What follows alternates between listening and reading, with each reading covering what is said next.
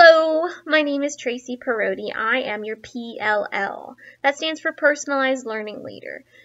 That's a tech coach.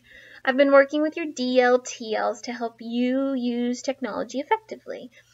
We are opt in tech coaches. So, as your DLTLs need us, they opt in and they schedule time with us. We are shared amongst eight schools. So, the earlier you know you need us, certainly send us those calendar invites and we'll be out there. As soon as the year starts picking up and you guys get all your awesome lessons in mind, our schedules are going to start to fill. So, I wanted to put this video out there to let you know who I am, for you to see my face if you do see me on campus.